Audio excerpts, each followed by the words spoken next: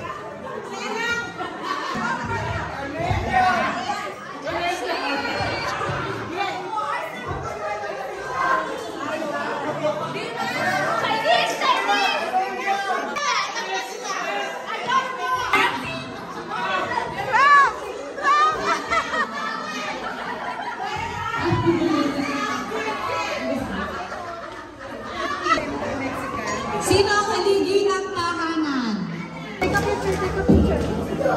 Picture, picture. I'll you the next one. Okay, I'll the next one.